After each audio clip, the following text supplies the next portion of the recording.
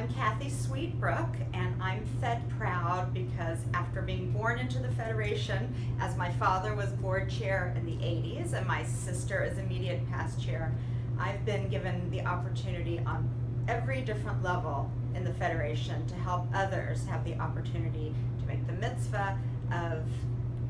participating in our wonderful communities.